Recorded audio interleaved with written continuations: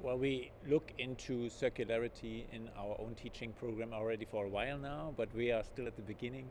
We want to uh, develop this further, especially internationally, uh, connecting to other institutions, but also uh, uh, develop further our methods in the teaching program. So I was very curious to come here to see other colleagues who are doing similar things, who are facing other problems or the same, and to learn from them.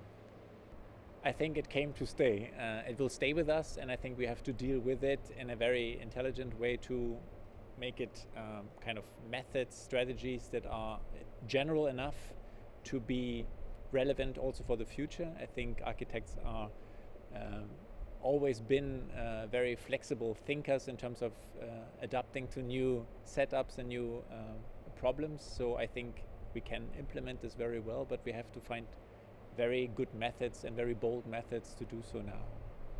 I think collaboration is everything in general for architecture, but even more so for circularity because it is now driven very technically uh, from the technical side.